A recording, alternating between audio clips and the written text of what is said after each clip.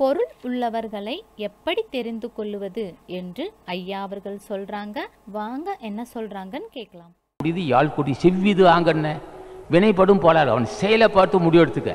திடீரென்று மயங்கிடாதேன்னு சொல்லுவான் வள்ளுவன் அறிவுரை. அப்போ இதற்கு நோக்கம்? பட்டாத்தா சொல்வார் பொருளுடைய ஒரு செயலிலும் வீரரை போர்க்களத்தினார். பொருள் உள்ளவர்கள் எப்படி தெரிஞ்சுக்கலான்னார்? வீடு வாங்குவான் மா இது மாடு வாங்குவான் நகை வாங்குவான் கார் வாங்குவான் நல்ல பங்களா கட்டுவான். சரி வசதி உள்ளவன்னு தெரிஞ்சுக்கலாம். பொருளுடைய ஒரு செயலிலும் வீரரை போர்க்குளத்தினார். வீரன் வீர வீர தீரமாக பேசுவான். போர்க்குளத்தில் அங்கே வினாடிக்கு வினாடி தலை உண்டுக்கிட்டே இருக்கும். வினாடிக்கு வினாடி கை கால் வெட்டப்பட்டும் துண்டுக்கு துண்டிக்கப்படுகின்ற தலை. இப்படி எங்கே பார்த்தா ரத்த கலையறையாக இருக்கும். அங்கிருந்து போர் செய்கிறவன் தான் வீரன்.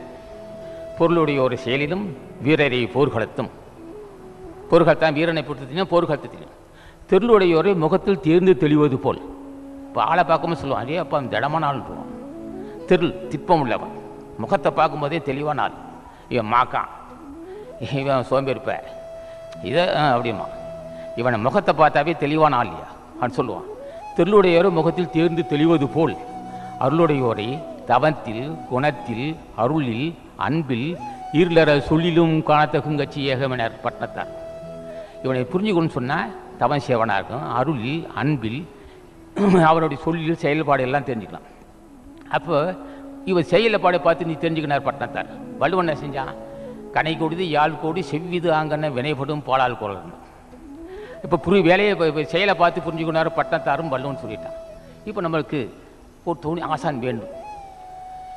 யார் வேணும்? ஒரு பக்தன் வேண்டும். பேச வேணுமல்லவா? சொல்லணும் இல்லையா இப்போ ஞானிகள் என்ன செய்வார்கள்? பக்தர்கள் ஞானிகள் நீ ஐயா வா இங்கே.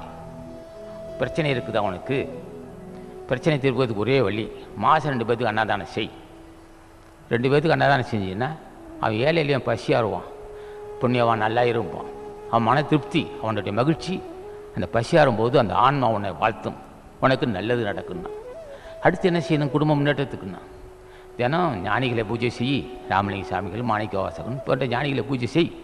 வறுமை தீரும் அப்படின்னு சொல்லுவான். வேறு வழி இல்லை. என்ன செய்ய முடியுதப்பா இதுதான் உண்மை. அல்லது கிரக இது தோஷம் இருக்குன்னு சொல்லுவான். ஈசனால பண்புள்ள எல்லாரும் தானா இருந்தா இப்போ உனக்கு ஏழரை நடக்குது. தெரியும் வினை வினை சூ வினை சூழ்ந்து அவனை பலகீனப்படுத்தும்.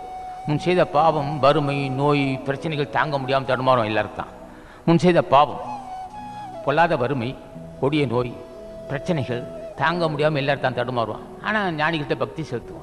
பக்தி செலுத்தம் உடனே உடனே வினை தீரப்போகுது. அப்போ அவன்ட்டு சொல்லுவான் உன் ஜாதகத்தை கொண்டாம. இப்போ ஏழை சென்னையா இன்னும் ஏழரை வருஷம் இப்படி தான் போகணுமா? அவனுக்கு வயசு ஐம்பது இருக்கும். ஏழரை வருஷம் சொன்னான் ஆசானது அருளுரைகளை தொடர்ந்து கேட்க அரங்கர் டிவிக்கு லைக் பண்ணுங்க சப்ஸ்கிரைப் பண்ணுங்க. மறக்காம பெல் பட்டனையும் கிளிக் பண்ணுங்க.